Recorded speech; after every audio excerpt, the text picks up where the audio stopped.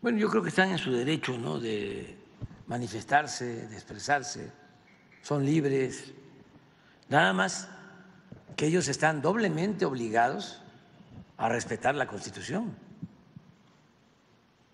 Todos los ciudadanos tenemos que respetar la Constitución, pero las autoridades estamos más obligados que los ciudadanos a hacer valer la ley de leyes, la Constitución de la República. Si la Constitución de la República establece que se pueden llevar a cabo reformas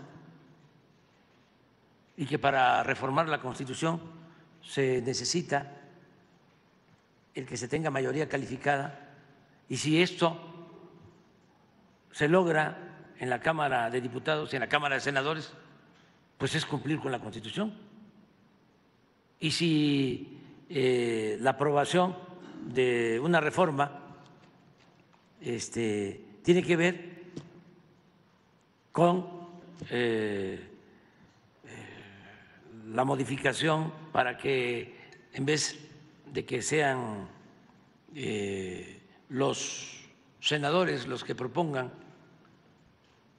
o elijan, mejor dicho, a propuesta del titular del Ejecutivo, a los magistrados o ministros de la Corte, pues es completamente constitucional, es vivir eh, en realidad de derecho y de hecho, de facto y de juré, en un Estado de Derecho.